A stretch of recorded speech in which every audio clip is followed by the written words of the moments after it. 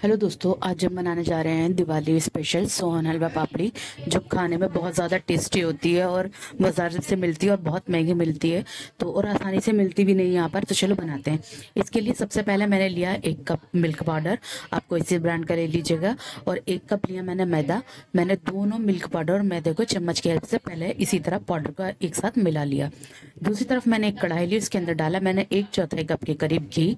आप कोई सा भी घी यूज़ कर लीजिएगा, मैंने डाल डालडा घी यूज़ किया था आप चाहे देसी घी भी डाल दीजिएगा और आप चाहे तो इसके अंदर रिफाइंड ऑयल भी डाल दीजिएगा। वैसे रिफाइंड का टेस्ट नहीं आता, जैसे बहुत से लोग घी नहीं खाते तो इसलिए एक ऑप्शनल है, आप कुछ भी यूज़ कर लीजिएगा। लेकिन देसी घी का टेस्ट बहुत अच्छा आता है और ये हलवा देसी घी में ही मिलता है।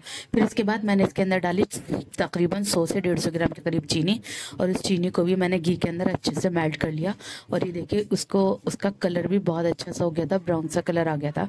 और जब हमारा ये चीनी बहुत अच्छे से मेल्ट हो गई।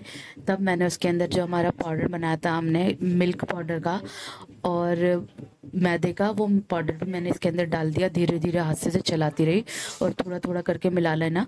वरना एक साथ डालोगे तो वो जाएगा। मैंने थोड़ा डालती गई और मिलाती गई।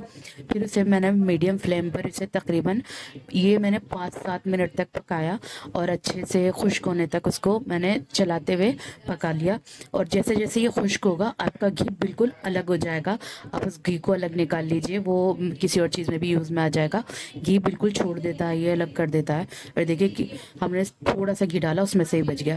फिर उसके बाद जब इसे मैंने ठंडा होने के लिए रख दिया फिर आ, मैंने एक मोल्ड लिया उसके अंदर मैंने थोड़े से ड्राई फ्रूट डाले जैसे बादाम वगैरह काट के और एक चम्मच की हेल्प से मैंने उस मोल्ड के अंदर डाल दिया। मेरा बहुत ज़्यादा थिक हो गया था। आप उसे गर्म गर्म करके डालिए क्योंकि ये एकदम ठंडा होते ही एकदम टाइट होने शुरू हो जाता है और ये ढंग से मोल्ड में मेरे से तो डल भी नहीं रहा था बार बार गिर रहा था क्योंकि ये गर्म भी था इसलिए आप ध्यान से डालिएगा मोल्ड के अंदर। और ये देखिए, थोड़ी देर में, तकरीबन दस मिनट बाद ये बहुत अच्छा सा कड़क तैयार हो गया।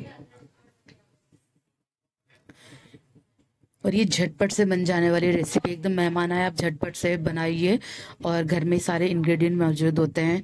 तो अगर आपको वीडियो पसंद आए तो चैनल को सब्सक्राइब वीडियो को लाइक शेयर कमेंट ज़रूर कीजिएगा। और हाँ इस दिवाली आप एक बार इसे ट्राई ज़रूर कीजिएगा। ये बहुत आसान से और झटपट से बन जाने वाली रेसिपी है। एकदम डिज़र्ट बढ़िया वाला बनेगा आपका।